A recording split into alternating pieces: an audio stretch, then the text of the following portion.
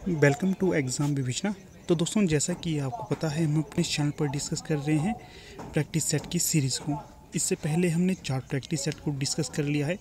अगर अभी तक आपने उन्हें नहीं देखा है तो पहले आप उन्हें जाकर देखिए, तभी आपको इसका क्रम पता चलेगा किस प्रकार के प्रश्न पूछे गए हैं।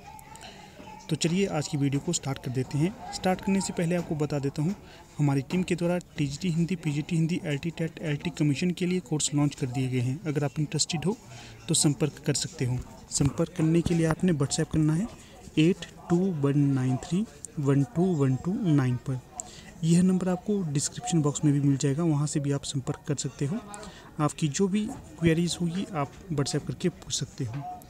इसी के साथ अगर अभी तक आप हमारे टेलीग्राम चैनल के साथ नहीं जुड़े हैं तो आप उसके साथ भी जुड़ सकते हो। वहाँ पर मैं आपको महत्वपूर्ण पीडीएफ इत्यादि सेंड करता रहता हूँ। तो चलिए करते हैं वीडियो को स्टार्ट। तो यहाँ पर प्रश्न है, एक एक सौ इकतीस। तो इसमें पूछा गया है 1903 में सरस्वती पत्रिका के संपादक कौन बने? मैथिली मैथिलीशरण गुप्त, हजारी प्रसाद द्विवेदी, महावीर प्रसाद द्विवेदी या निराला?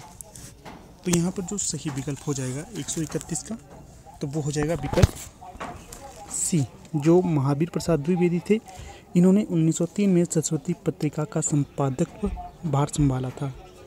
इससे पहले कौन थे? तो ये थे श्याम सुंदर दास। अगर ये पूछा जाए सरस्वती पत्रिका का प्रकाशन या संपादन कब से शुरू किया गया था तो ये किया गया था 1900 से और जो महावीर प्रसाद द्विवेदी ने कब तक इसका संपादन का भार संभाला था तो ये 1920 तक संभाला था।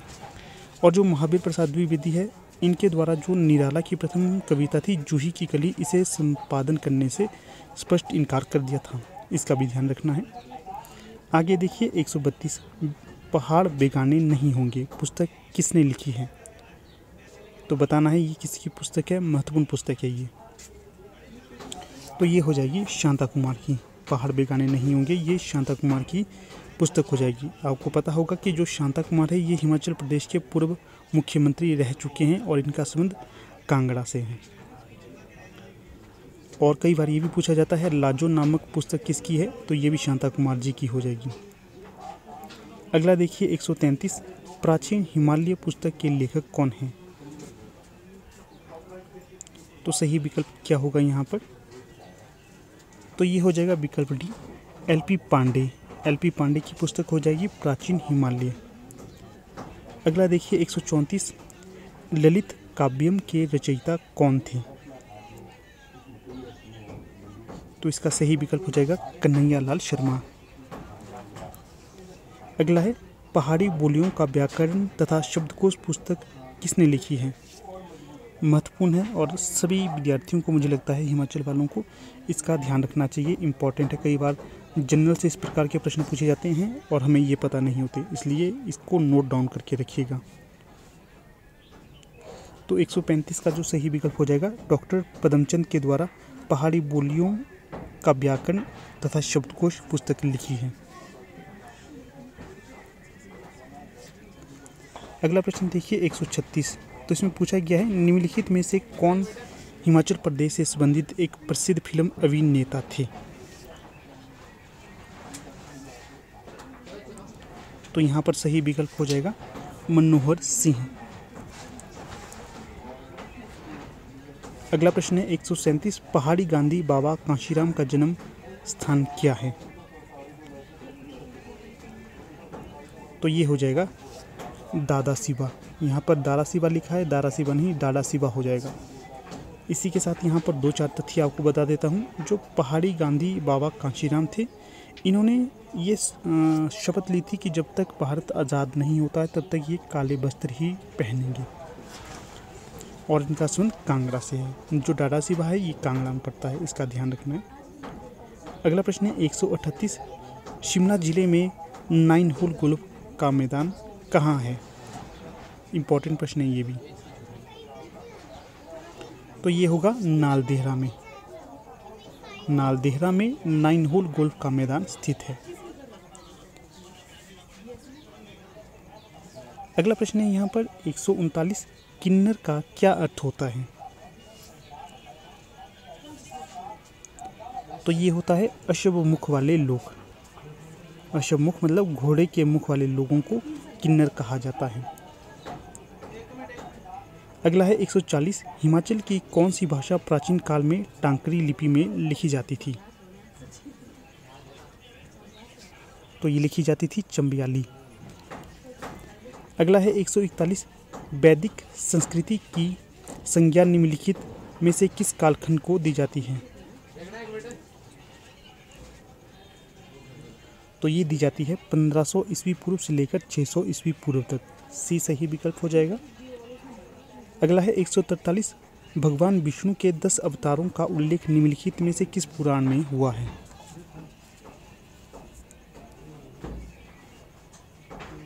तो यहाँ पर जो सही विकल्प हो जाएगा तो ये हो जाएगा मत्स्य पुराण में। तो 142 छूट गया, इसे देख लेते हैं। कुल वेदांत कितने हैं? तो ये हैं छः सी सही विकल्प हो जाएगा 142 का।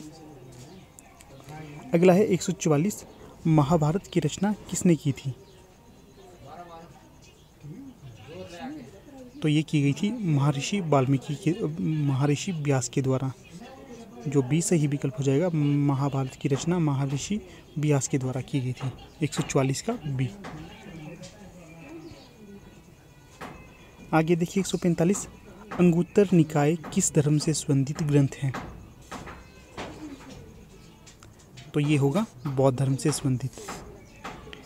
अगला है 146 तो इसमें पूछा गया है जैन धर्म के प्रथम तीर्थंकर कौन थे? तो यहाँ पर 146 का सही विकल्प हो जाएगा ऋषभदेव। अगर पूछा जाए अंतिम कौन थे तो ये थे महावीर स्वामी। इसका भी ध्यान रखना है, अंतिम महावीर स्वामी और पहले ऋषभदेव। अगला है सैंतालीस, तृतीय बौद्ध सभा या संगति किसके शासनकाल में आयोजित की गई थी? तो ये की गई थी अशोक के समय। अगला है 148 चीनी यात्री फाहियान किसके शासनकाल में भारत आए थे? तो ये आए थे चंद्रगुप्त द्वितीय के समय।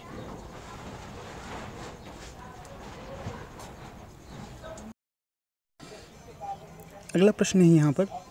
एक सौ उनचास सती प्रथा का सर्वप्रथम प्रमाण भारत में कब मिला? तो यहाँ पर जो सही विकल्प हो जाएगा तो वो हो जाएगा विकल्प ए 510 ईस्वी में सर्वप्रथम सती प्रथा का प्रमाण भारत में मिला था। अगला प्रश्न देखिए 150 नागनाथ, रत्नावली और प्रियदर्शिका नामक नाटकों की रचना किसने की है? मोस्ट इंपॉर्टेंट प्रश्न है, अगली परीक्षाओं के लिए भी ये। तो ये हो जाएगा हर्षवर्धन। जो हर्षवर्धन थे कन्नौज के शासक, इनके द्वारा इन नाटकों की रचना भी की गई है। ध्यान रखना, ये एक शासक होने के साथ साथ नाटककार या काव्य प्रेमी भी थे। अगला प्रश्न देखिए, एक सौ इक्यावन राष्ट्रकूट वंश की स्थापना किसने की? तो ये की थी दंती दुर्ग के द्वारा। यहाँ पर जो विकल्प ए है, बिल्कुल सही हो जाएगा। अगला प्रश्न है, एक सौ बावन, चंदेल वंश की राजधानी कहाँ थी? तो जो चंदेल वंश की राजधानी मानी जाती है, खजूरा होगी। यहाँ पर ए सही विकल्प हो जाएगा। अगला प्रश्न देखिए, एक सौ तिरपन, तराइन का प्रथम युद्ध कब हुआ था? तो ये हुआ था उन्नीस सौ ग्यारह सौ इक्यानवे में। ए सही, बी सही विकल्प हो जाएगा यहाँ पर। यहाँ पर थोड़ी सी हिस्ट्री में बता देता हूँ आपको तराइन के युद्ध की। जो तराइन का युद्ध हुआ था तो ये पृथ्वीराज चौहान और मोहम्मद गौरी के मध्य लड़ा गया था। ठीक है? जब ये प्रथम युद्ध हुआ था ग्यारह में तो पृथ्वीराज चौहान इस युद्ध में गौरी को पराजित कर देते हैं और उसकी जान बख्श देते हैं और उसे छोड़ देते हैं। इसके पश्चात मोहम्मद गौरी द्वारा से तराइन युद्ध के लिए आता है और फिर इनका तराइन का द्वितीय युद्ध होता है, जिसमें मोहम्मद गौरी है, पृथ्वीराज चौहान को धोखे से पराजित कर देता है और अपने साथ बंदी बनाकर गजनी ले जाता है। और गजनी में ऐसा होता है कि जो पृथ्वीराज चौहान पृथ्वीराज चौहान होते हैं, वे उसे शब्दभेदी बाण विद्या के द्वारा मार देते हैं। कुछ ऐसी इसकी हिस्ट्री है, पर जो प्रमाण ऐसा नहीं मिलता है कि गजनी जाकर पृथ्वीराज चौहान उनकी हत्या कर देते हैं। सीमित सा मिलता है कि जो तराइन का द्वितीय युद्ध है, उसमें पृथ्वीराज चौहान की हार हो जाती है और वे पृथ्वी चौहान पृथ्वीराज चौहान को मार देते हैं। कुछ इस प्रकार की हिस्ट्री है, पर अगर आप ज़्यादा इसकी खोजबीन करेंगे तो आपको ज़्यादा तथ्य मिलेंगे। चलिए, अगला प्रश्न देख लेते हैं। अपने विरोधियों की समाप्ति के लिए किस शासक ने लोह एवं रक्त की नीति अपनाई थी? तो ये अपनाई गई थी बलवन के द्वारा। लोह और रक्त की नीति को अपनाया था। अगला प्रश्न है यहाँ पर। 155 महाराष्ट्र में भक्ति आंदोलन के प्रथम संत कौन थे? मुझे लगता है कि हिंदी साहित्य के विद्यार्थी का इसका उत्तर पता ही होगा, क्योंकि भक्ति काल हमने पढ़ा है तो वहाँ पर पता चल जाएगा क्या कैसे दिया था। तो सही विकल्प हो जाएगा यहाँ पर 155 का डी, जो नामदेव थे। इन्हें महाराष्ट्र में भक्ति आंदोलन के प्रथम संत या मुख्य संत माना जाता है। जो नामदेव थे, इनके द्वारा सगुण और निर्गुण दोनों प्रकार की रचनाएँ लिखी गई हैं, इसका भी ध्यान रखना है। अगर पूछा जाए इनके गुरु का क्या नाम था, या गुरु नहीं कह सकते तो ये क्या ही कहिए, इनके जो आराध्य थे, उनका क्या नाम था? बिठोवा खेचर। ये इनके आराध्य का नाम माना जाता है। अगला प्रश्न है एक सौ छप्पन। कबीर की शिक्षाएँ किसमें संग्रहित हैं? तो ये संग्रहित होंगी आपकी बीजक में। अगर पूछा जाए बीजक का संपादन किसने किया था, धर्मदास के द्वारा। कबीर के उत्तराधिकारी कौन थे? धर्मदास ही थे। इसके साथ ही जो पद्मावत है, ये किसका महाकाव्य है और किस भाषा में लिखा गया है और कब लिखा गया है और किस छंद में लिखा गया है? ये प्रश्न आपके लिए। है किसने लिखा है, कब लिखा है और किस छंद में लिखा है? कुछ एक जो भी तथ्य आपको पता हो तो अवश्य बताना। अगला प्रश्न देखिए, एक सौ सतावन मेहरू निशा किसका वास्तविक नाम था? तो ये था नूरजहां का। अगला है, एक सौ अट्ठावन, गुरुमुखी लिपि के जनक कौन थे? जो गुरु अंगद थे, इन्हें गुरुमुखी लिपि का जनक माना जाता है। यहाँ से भी दो तीन प्रश्न आपको बता देता हूँ। प्रश्न ये है, जो सिख संप्रदाय है, इसकी स्थापना किसके द्वारा की गई थी? तो जो गुरु नानक थे, इनके द्वारा सिख संप्रदाय की स्थापना की गई थी। इनके दो शिष्य भी पूछे जाते हैं, जिसमें पहला है बाला। बाला और दूसरा है मर्दाना। अगर पूछा जाए गुरु नानक के दो शिष्य थे, उनके क्या क्या नाम है? बाला और मर्दाना इनके शिष्यों के नाम हैं। और जो अगर इनके पिता का नाम पूछा जाए, गुरु नानक के पिता का क्या नाम था? तो कालूराम खत्री इनके पिता का नाम था। और अगर माता का नाम पूछा जाए तो तृप्ता इनकी माता का नाम था। इसका भी ध्यान रखना है। इसके पश्चात जो अलग महत्वपूर्ण प्रश्न ये रहेगा कि जो गुरु गोविंद सिंह हैं, ये कौन है? तो जो गुरु गोविंद सिंह का हिंदी में भी, जो अपना हिंदी साहित्य है, वहाँ पर महत्वपूर्ण देन है इनकी। जो चंडी चरित्र नामक इनका एक नाटक लिखा गया, बहुत ही महत्वपूर्ण और अच्छा है। कभी आप यूट्यूब में कहीं पर सर्च करेंगे तो अवश्य देखना इसको। अच्छा है, बहुत अच्छा लिखा है और किस भाषा में लिखा है और ब्रज भाषा में लिखा गया है। इसके पश्चात ये भी ध्यान रखना कि जो सिखों के ये दसवें गुरु माने जाते हैं, इसके पश्चात सिखों के हाँ याद रखना कि जो सिखों के कितने गुरु हैं, सिखों के दस गुरु प्रचलित हैं। पहले हैं गुरु नानक देव और अंतिम है गुरु गोविंद सिंह। तो ये दस इनके गुरु माने जाते हैं, इसका ध्यान रखना है। अगला देखिए 159 प्रेस का मुक्तिदाता कौन सा गवर्नर जनरल कहलाता है? तो जो प्रेस का मुक्तिदाता कहलाता है तो ये हो जाएगा सर चार्ल्स मेटकॉफ, सी सही विकल्प हो जाएगा। अगला प्रश्न है 160 महात्मा गांधी ने साबरमती आश्रम की स्थापना कब की थी?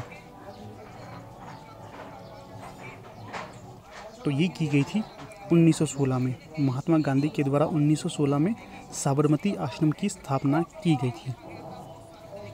आगे है, साँझ का तारा किसे कहा जाता है?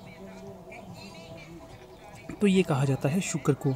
अगर पूछा जाए पृथ्वी की बहन किसे कहा जाता है तो शुक्र ही यहाँ पर होगा। अगला है एक सौ बासठ, पृथ्वी का मानक में रेखा किस रेखा को कहा जाता है? तो ये होगा ज़ीरो डिग्री देशांतर रेखा। अगला प्रश्न देखिए यहाँ पर। गल्फ स्ट्रीम किस महासागर से संबंधित होगी? Gulf stream. तो ये हो जाएगा आपका अटलांटिक महासागर सी सही विकल्प हो जाएगा। अगला है एक विश्व की सबसे लंबी नदी कौन सी है? तो ये हो जाएगा नील नदी। आगे है एक सौ पैंसठ सूर्योदय का देश कौन सा देश कहलाता है? एक सौ पैंसठ का यहाँ पर सही विकल्प हो जाएगा जापान। बी सही विकल्प हो जाएगा। एक प्रश्न यहाँ से आपके लिए और छोड़ता हूँ। आपने ये बताना है कि वो कौन सा हिंदी निबंधकार था जिसने जापान को अपनी रचनाओं में बहुत ज़्यादा महत्व दिया है? तो उसका नाम भी अगर हो सके तो आप बता देना, ठीक है? चलिए, फिर अब अपनी वीडियो का हम समापन कर लेते हैं। आप लोग वीडियो के अंत तक बने रहे, इसका धन्यवाद।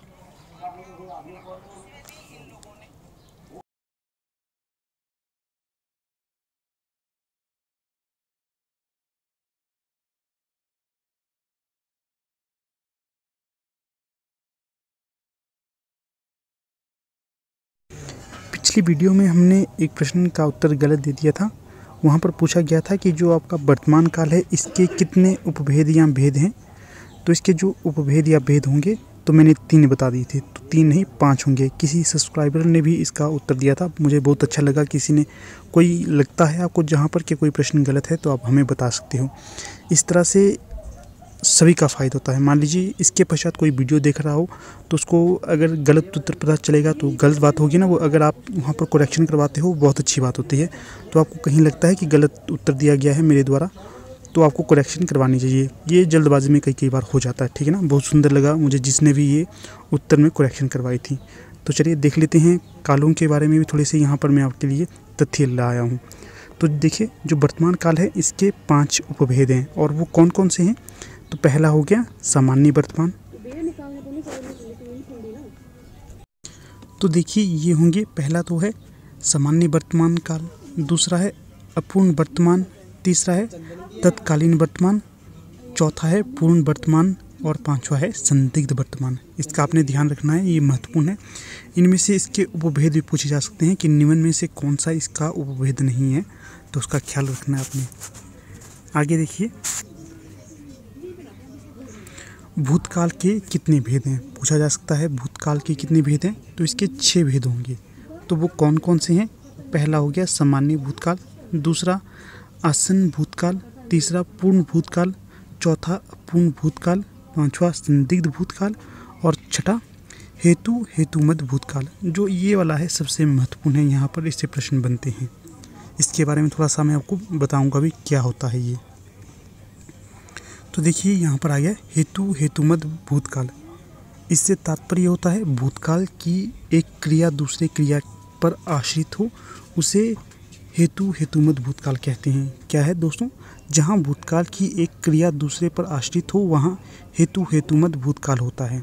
जैसे यदि वर्षा होती तो फ़सल अच्छी होती। देखिए यहाँ पर एक दूसरे पर आश्रित है। दूसरा है यदि डॉक्टर समय पर आता तो मरीज़ नहीं मरता। तो ये भी हेतु, हेतुमत भूतकाल है तो इसका भी आपने ध्यान रखना है। अगला है, काल के दो भेद हैं। तो ये भी पूछा जा सकता है कि जो भविष्य काल हैं, इसके कितने भेद होते हैं? तो इसके दो भेद होते हैं। कौन कौन से हैं? सामान्य भविष्य काल संभाव्य भविष्य काल ये दो इसके भेद होते हैं। तो यहाँ से अब मुझे लगता है आपको पूरा पता चल गया होगा क्या है, क्या नहीं। इसी के साथ आपको ये भी ध्यान रखना है, अगर आपसे पूछा जाएगा कि जो काल हैं, इनके कितने भेद हैं? तो काल की आपको याद रखना है, तीन भेद हैं। कौन कौन से हैं? तो एक तो होगा भूतकाल, दूसरा हो गया वर्तमान काल और तीसरा हो गया भविष्य काल। जैसे बोलते हैं ना पास्ट प्रजेंट एंड फ्यूचर ये जिस तरह अंग्रेज़ी में है, उसी प्रकार हिंदी में भी है। इस प्रकार से आपको इसका भी ध्यान रखना है। तो अब मुझे लगता है, आपको पूरा यहाँ पर काल से संबंधित तथ्यों के भी पता चल गए होंगे। क्या है, कैसे है? तो ठीक है, अब अपनी वीडियो का समापन कर लेते हैं। आप लोग वीडियो के अंत तक बने रहे। इसका बहुत बहुत धन्यवाद।